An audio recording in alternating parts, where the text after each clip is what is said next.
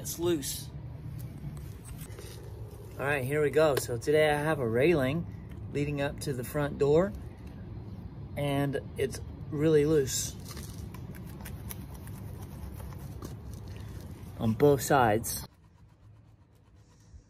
So it's dug into concrete down in here and so I'm gonna have to get this out.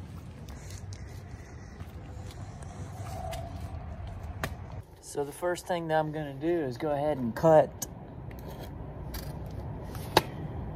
right down the, right down.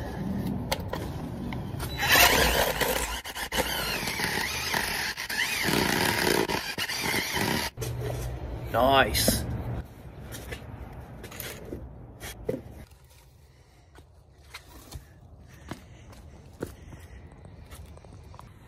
I mean, when you go to pull these things up, you couldn't ask for anything better than for the whole thing, all the concrete to come out.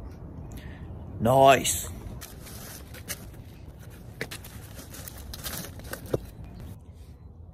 So let me explain to you real quick the reason why these things are so wobbly and the reason why they're coming out so easy.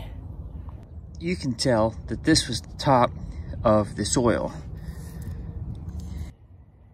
It was buried and concreted into the ground six inches deep. Six inches deep. Standard is 24. That's two feet. This is half of a foot. So of course, of course it's gonna be wobbly. All right, I got in a more appropriate hole dug now. So I got my 4x4 post. And I saw a carpenter did this once.